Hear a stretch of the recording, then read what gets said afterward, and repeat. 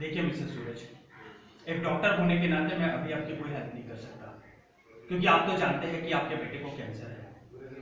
हाँ ये कैंसर का इलाज हो सकता है, लेकिन उसके लिए कम से कम डेढ़ से दो लाख रुपए का खर्चा आएगा, जो आप अभी अफोर्ड नहीं कर सकते। इसलिए मैं आपको मानव सेवा ट्रस्ट का फ़ोन नंबर और एड्रेस लिखकर देता हूँ। आप लोग प्लीज़ वहाँ पे जाइए और अपनी बात वहाँ पे रखिए। मुझे उम्मीद है कि आपकी बातें सुनकर वो ट्रस्ट वाले आपको ज़रूर कोई ना कोई हेल्प कर देंगे।